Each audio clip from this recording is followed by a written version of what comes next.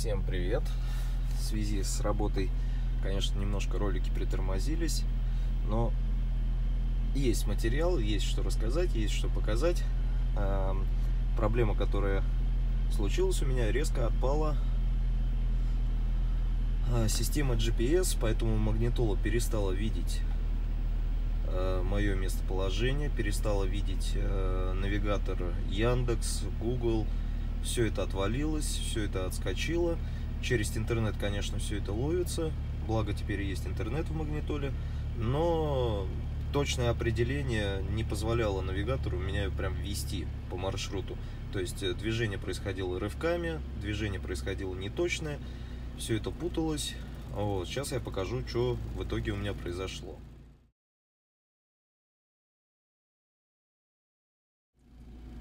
Машина у меня новая, с магазина. Да, покупал я ее в 2018 году.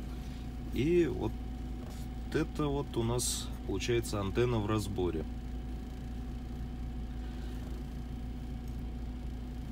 Ситуация, конечно, очень плачевная. Влага попадала, получается, в, кор в корпус. Скорее всего, из-под болтов. Резинка, вот эта вот, уплотнительная, она точно приклеивается в четырех местах. Соответственно, вся влага, все, что было на улице, все это попадало сюда, копилось здесь под резинкой, соответственно, затекало сюда. И вот эта вот часть, она у нас силуминовая, она гнила. Соответственно, модуль GPS также полностью прогнил, образовался налет, но что касаемо антенны радио, все живенько, все отличненько. И если мы посмотрим, то и в принципе и влага-то вот здесь, в этих местах, она сюда и не попадала. Здесь есть еще вот такой вот сальник. Но сальник вот в этом месте оттопырен. Опять же, все это с магазина, ничего не разбиралось. Вот у нас ответная часть, она вся была влажная. Сама антенна у нас на тораксах закрепляется, вот в эту ответочку.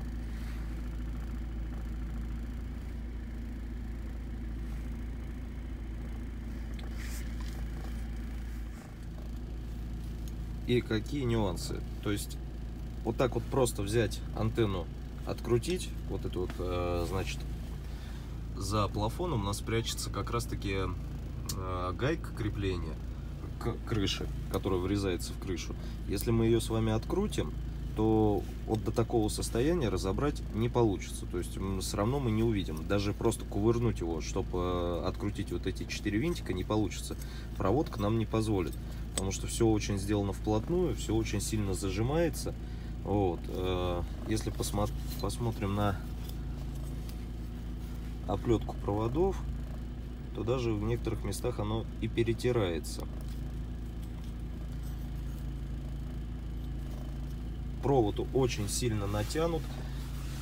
Получается, он заходит э, во внутреннюю часть крыши, проходит до стойки, внутри стойки проходит до бардачка, выходит в бардачке и уже идет по салону. Получается у нас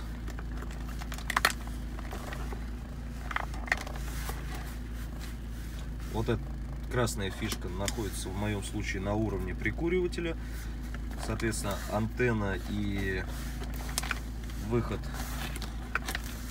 выход GPS, он уже поднимается сюда, ближе к магнитоле все это очень проблематично, потому что для того, чтобы снять вот эту антенну, даже вот так вот ее просто разобрать, вам потребуется в любом случае протаскивать вытаскивать всю эту проводку. Потому что все находится очень в зажатом состоянии. Кувырнуть на крыше, как-то вытянуть ее, это ничего вообще вот не получилось у меня. Антенну я всю полностью заменил на новую сейчас GPS показывает в идеале. Да, там есть какие-то моменты, что пропускает где-то какой-то спутник, но в итоге работает идеально.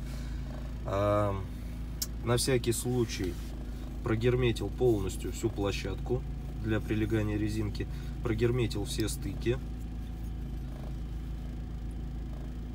Посмотрим, сколько теперь переживет антенна. А так, в общем, непонятно, конечно, как такой агрегат, который находится постоянно в агрессивной среде на улице, так может быть, условно говоря, неаккуратно установлен, чтобы в него постоянно затекала вода и он постоянно гнил.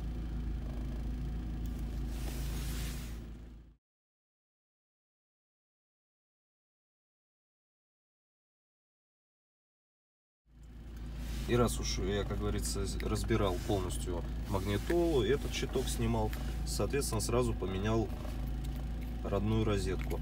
Почему я это сделал? Потому что э, в день покупки э, у меня постоянно не работала подсветка. Если сейчас мы включим, да, да, вон лампочка загорается, э, то у меня почему-то родная все время не работала. Я обращался к дилеру, дилер мне менял лампочки, и, в общем, при установке, когда я ставил дополнительную вот эту розетку, я обратил внимание, что как дилер мне поменял лампочку. Вырезал вот здесь вот точка крепления, куда вставляется патрон.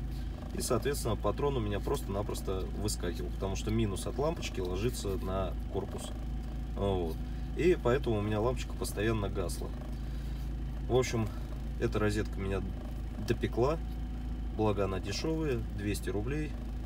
И вот сейчас новенькая стоит, точно такая же, с подсветочкой. Все загорается, все гаснет, все идеально. А здесь, получается, неаккуратность дилера привела просто-напросто к тому, что этот прикуриватель именно и подсветку, вот эту вот часть, вот это обрамление, это все на выброс. Сам-то прикуриватель, вот эта часть работает. Вот так вот теперь у нас новая антенна стоит поменял на более удлиненную. Стоимость вот этой антенны всего лишь каких-то 60 рублей. Сигнал стал лучше, радио работает нормально.